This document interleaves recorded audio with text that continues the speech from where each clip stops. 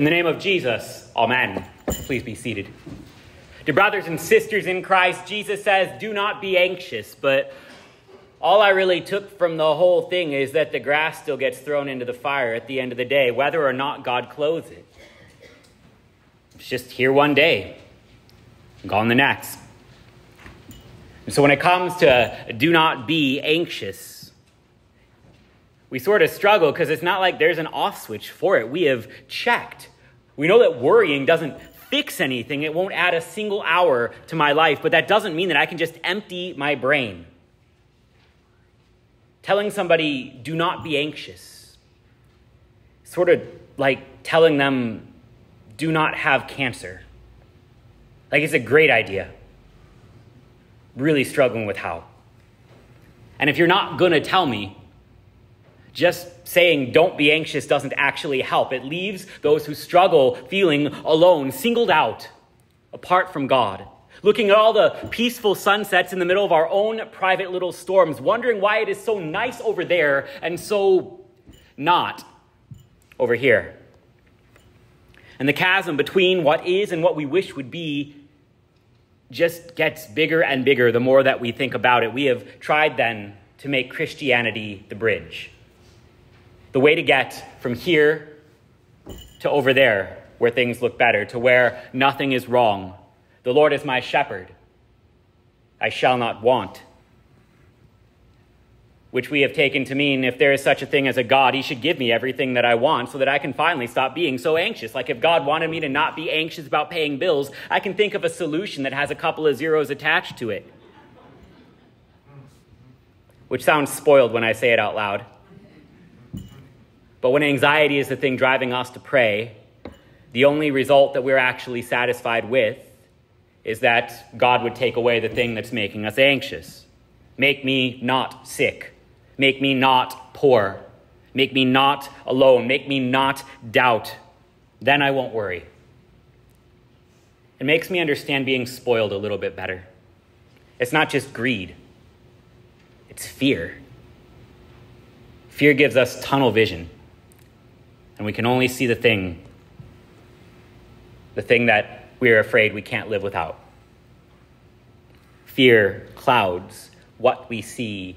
It clouds how we think. It takes seek first his kingdom, and these things will be added to you as cause and effect. Like, God will give you the stuff you really want if only you seek his kingdom enough to satisfy him first. So, you know, seek first the kingdom of God as a means to an end. God, if I love you enough, will you give me the thing that I really love? How many vegetables do I have to eat before I get dessert? It's cute when it's kids doing it, but this is darker than just childish because it turns Christianity into a measurement of stuff.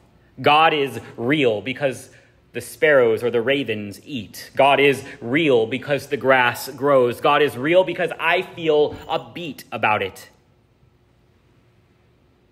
Because the other side of that is that if I was a real Christian, I would have everything I need. People go on TV and try and sell that all the time. And it really only leaves people with one burning question Where is God? Because this stuff isn't working. He promises enough, but we have different ideas about what the word enough actually is. The grass still gets thrown into the fire, and if that is a measure of how much God loves me, don't tell me not to be anxious. The Lord is my shepherd, but I look around and there's plenty of want down here. Not just for the season tickets, but for the kids laid up in hospitals, for those who hunger, for those without homes, for those oppressed. We've got a list of things to pray for sitting on this altar. Do not be anxious. And the only other way that we've thought to avoid it is just as dark. Just don't care about this life. Just think about going to heaven one day, which is terrible. Like, it, it really actually is terrible. You can say, don't care about this life, but the whole passage that we have been given today shows us just how much God seems to care about it. He cares enough to feed birds, enough to make lilies beautiful, and enough to put you here in this world because He actually wants you here. Religion is not just a race out of the world that God puts you in. He cares that you are a part of it. He cares enough to join it himself. This isn't just a race to heaven if God cares enough to feed the sparrows down here. He wants you here or you wouldn't be here. He loves the grass even though he burns. And saying that you care less about the world that God says he cares more about leaves you calling love meaningless, leaves you calling sin victimless. He cares about what happens down here so much, he gives us 10 commandments about how we're supposed to treat each other down here so that we don't hurt hurt as much. Thou shalt not do these things because sin breaks stuff.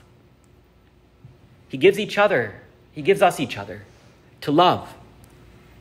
Racing out of this world just to get to heaven means racing away from God's gifts and racing away from each other. And that's bad.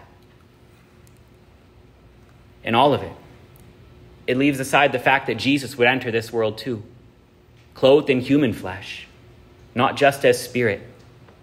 God cares about your body enough to raise it up on the last day. We're not just racing to get out of here. And all of it, we have the wrong idea about Christianity as a sunset on a private beach or Jesus holding perfectly clean lambs in a field that somehow doesn't smell like livestock live there. It doesn't mash with the anxiety that keeps us up at night and the religion was given to be more than, you know, hey kid, I know you don't want to live anymore because you got a whole book of things wrong in your life and you're struggling to find some good, but, you know, rub some Jesus on it and walk it off. Seek first the kingdom of God. Then you'll feel better if you do it right. Do you see what the devil does? He takes God's word and he twists it around. We read, Do not be anxious, and we have somehow turned it into a law. We have turned it into its own work to be anxious about. We actually get anxious over not being anxious. It's almost cute until we end up so stressed over what we're doing wrong that we shut down, that we strike out against those we love, and even start to come to hate God a little bit for leaving us hanging, which I think is the real issue. We have painted a picture of God that does not exist and have come to resent him for it.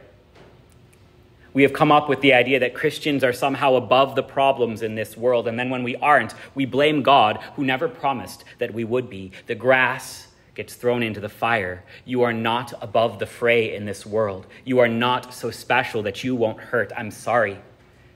It's just not real. It was never promised. Your anxiety will not extend your life, it might even shorten it. But even without it, your days are still numbered. This is not the promise you wish that it was. Praying hard enough will not keep you out of suffering any more than being very good will. This thing that we call sin, it brings about suffering. We live in a world that is coded in it. We sin, and our neighbors sin, and it just compounds. We don't just talk about this stuff to heap guilt on top of your anxiety, though, but to tell the truth. It, it hurts down here. You're allowed to say that.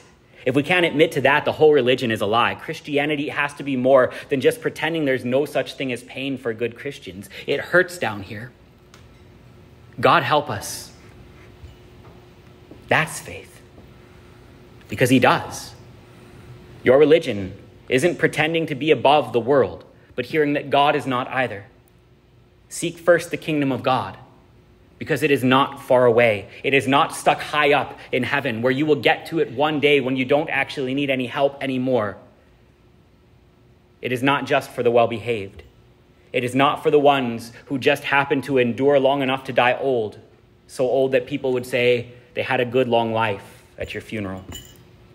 Seek first the kingdom of God because it is not hidden. The kingdom is just wherever the king is. God enters this fallen world for you. The king is not far away. He dives down into the pit. This is our hope. This is what our faith really is. God joins us in this vale of tears to pull us out of it. And so when he says, do not be anxious, he dives into the world and becomes anxious about it himself. He prays through sweat and tears over what is coming, but still bears it for you, for me, for us. The kingdom of God has come near to you, that when everything is falling apart, God would not be far away, and your faith would be more than happy lyrics over a picture of a sunset. It isn't a perfect day with a perfect family and like a somehow Middle Eastern Jesus who still has blue eyes. That's weird. Um, It's uglier. It's this dead Jesus hanging on a cross for you, hurting.